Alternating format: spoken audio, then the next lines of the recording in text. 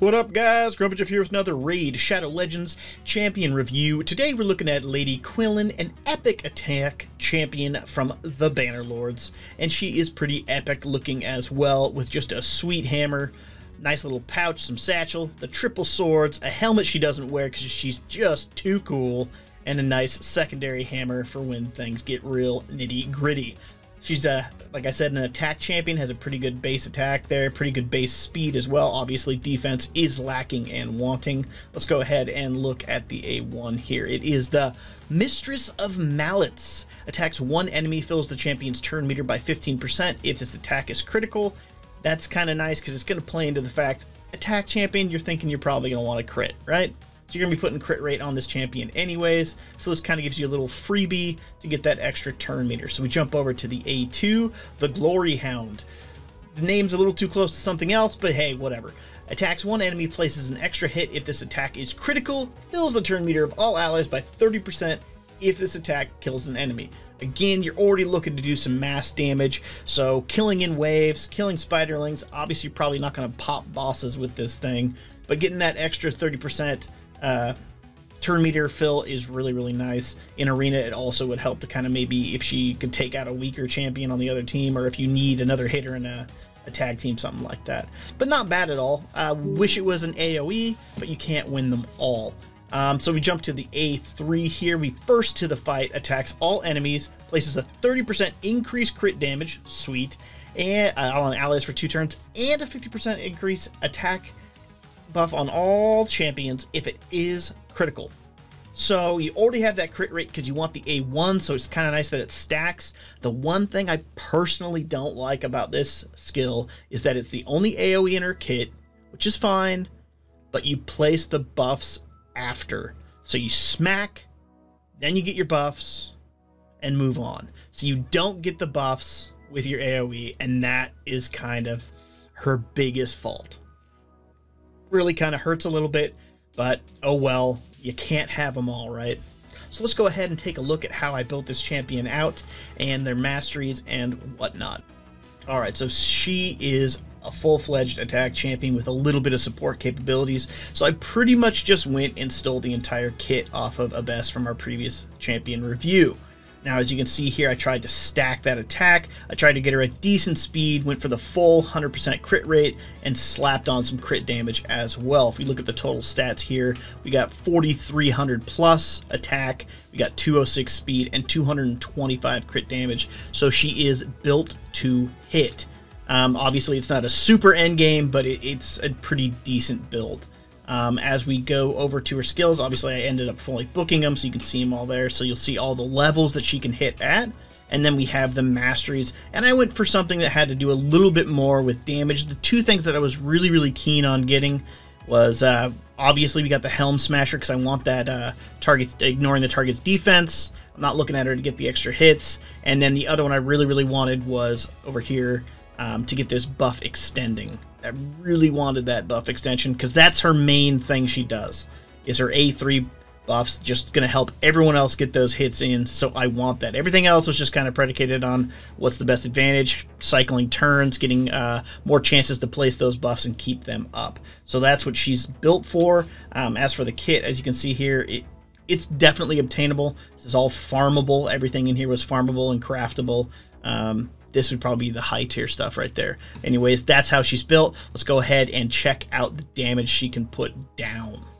So here we have the basic Lady Quilen just going at it. I'm going to go ahead and drop the A3 here. Not bad damage. Looks like 37,000, 33,000, kind of a mixed.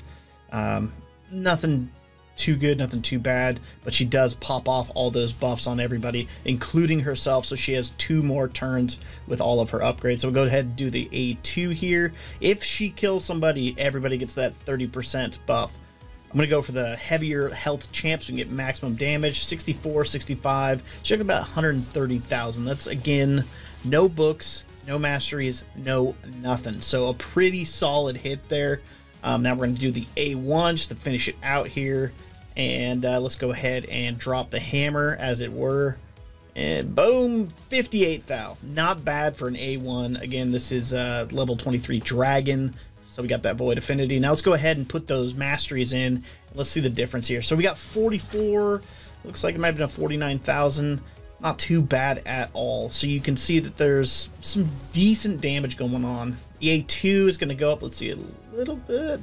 80. Okay, so that's a huge jump. That's about a 15,000 per hit jump on her A2 there.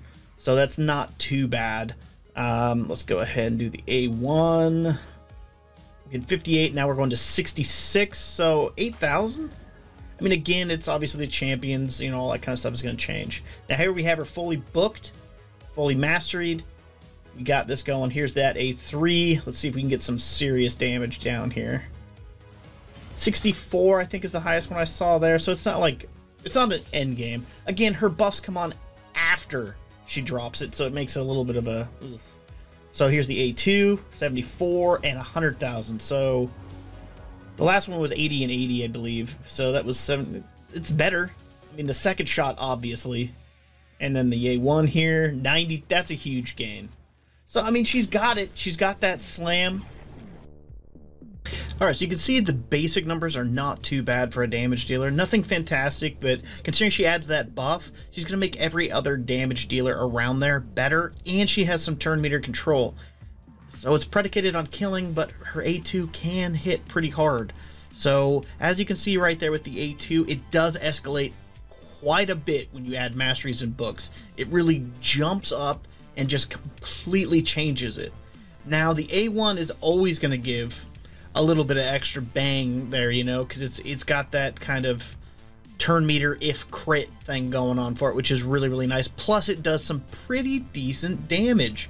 Like I'm not disappointed in those numbers at all. I mean, it almost rivals the A2, um, minus the fact that it's a two hitter on the A2, of course, and we're just showing the highest of the two hits there. But it does pretty well with that 92,000 on the A1 when it's fully booked. So they do add value, but as a support champ, I'm not so certain I would throw all my books in there when I really just want the buffs. But let's go ahead and see that in practical application.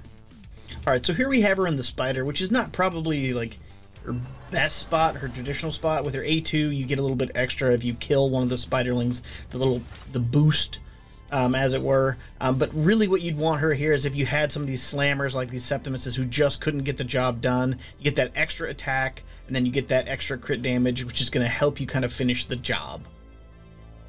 Now we move on to like Hydra, and really Hydra, I feel like again, it's really about getting that attack down, um, getting that crit damage down or up, as you were, and then if you compare them with someone who can extend buffs that's really going to be your biggest use. She's kind of like a, a baby Mashalled a little bit because he kind of does some very similar things with the crit damage buff and all that kind of stuff, but she lacks the lead. she lacks anything.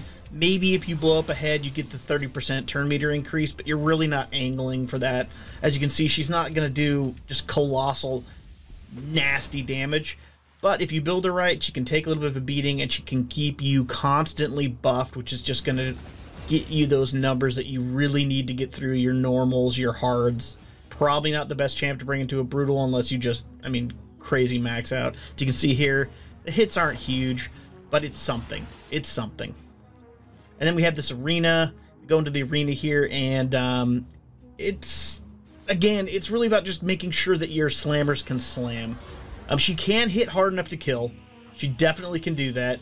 Um, as you can see there. But now she's made sure that Trunda can wipe out Deacon, which I, I don't think is a problem for most people. But there you have it. That's her basic uses.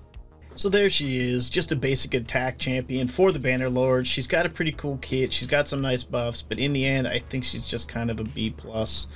Um, I personally wouldn't really recommend building her out with books and masteries. I think she's really just there for the buff, so you can get those extra hits. Anyways, thank you so much for watching. Uh, feel free to watch the next championship guide recommended up above. Otherwise, have yourself a wonderful day, and thank you so much for watching.